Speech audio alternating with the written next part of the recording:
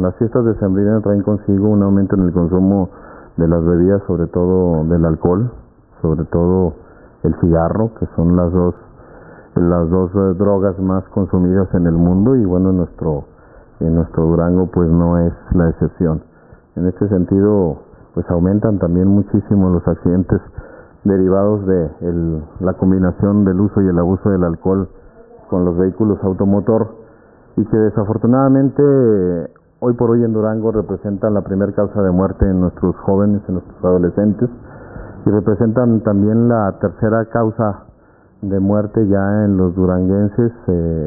este tipo de homicidios eh, involuntarios, podría decirse, en conjunto como lo habíamos mencionado con los suicidios y con los asesinatos. Nosotros tenemos una, primero que nada, una, una campaña de concientización eh, que se está dando en cada uno de los municipios con todos los que son los consejos municipales contra las adicciones que dependen directamente del Consejo Estatal contra las Adicciones y en el cual cada municipio emprende con la Rectoría de la Secretaría de Salud proyectos eh, con recursos de cada una de las dependencias que se adhieren a estos consejos